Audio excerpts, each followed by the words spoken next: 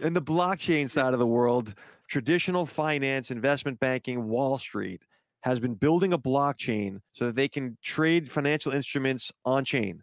Goldman Sachs, BNY Mellon, and Cboe Global, the uh, Chicago Board of Options, has tested a blockchain based communication called Canton Network. Canton is an interoperable blockchain network designed for institutional assets. The way Wall Street works right now, you buy and sell things, and there's a central clearinghouse that matches this all up at the end of the day. The government runs it.